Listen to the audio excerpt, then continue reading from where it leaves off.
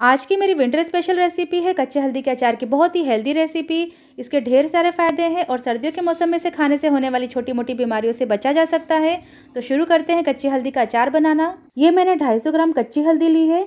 तो सबसे पहले हल्दी को इस तरह स्क्रैच करते हुए छील लेंगे। तो सारी हल्दी को मैंने छील लिया है।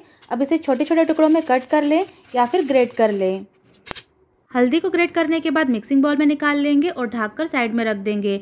अब यहाँ मैंने क्वार्टर टी स्पून कलौंजी क्वार्टर टी स्पून मेथी दाना, आधा छोटा चम्मच अजवाइन, एक छोटा चम्मच जीरा, दो छोटा चम्मच सौंफ, एक छोटा चम्मच राई, चार लौंग और बारह दाने काली मिर्च के लिए हैं। तवे पर दो मिनट लो फ्लेम पर सबको हल्का हल्का भून लेंगे ताकि इसका मॉइस्चर निकल जाए और अचार लंबे टाइम तक अच्छा रहे।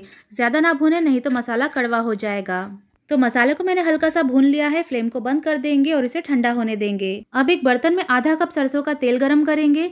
तेल को अच्छा धुआँ आने तक गरम करना है। तो तेल अच्छा गर्म हो गया है, फ्लेम को बंद कर देंगे और तेल को थोड़ा ठंडा होने देंगे। ज़्यादा ठंडा होने नहीं देना है, तेल थोड़ा गर्म ही रहे और इसे टच कर सके। तो तेल जब तक ठंडा हो रहा है, मसाला पीस लेंगे। तो मसाले को मिक्सर में डालकर इस तरह दरदरा पीसना है। इसका बारीक पाउडर नहीं बनाना है। अब इस मसाले को हल्दी में ऐड कर देंगे। और ये मैंने लहसुन की दो छोटी कांठों को छील लिया है। इसे भी मिक्सर में डालकर इस तरह दरदरा पीस लेंगे और हल्दी में ऐड कर देंगे।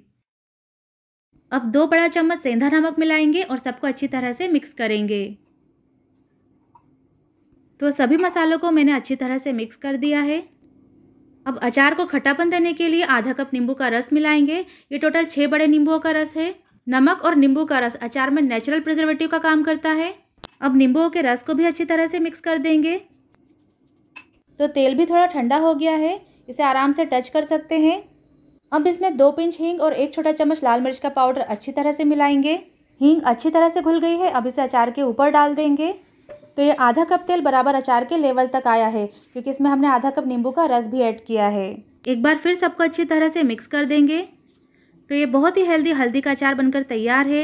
ये आपके खाने के स्वाद के साथ ही हेल्थ को भी बढ़ाएगा और डाइजेशन को भी अच्छा रखेगा। अब इसे एकदम साफ़ और सूखे कांच के जार में या अच्छी क्वालिटी के प्लास्टिक के जार में भर लेंगे। एक दिन बाद आप इस अचार को खाना शुरू कर सकते हैं। तब तक सारे मसालों का फ्लेवर हल्दी में अच्छी तरह से आ जाएगा। और ऐसे इस अचार को धूप दिखाने की ज़रूरत नहीं है, लेकिन अगर आप दो से तीन दिन धूप दिखा देंगे तो अचार की लाइफ भी बढ़ जाती है और स्वाद भी बढ़ जाता है। और ये बाकी के बचे हुए अचार को मैंने दूसरे कांच के छोटे जार में भर दिया है।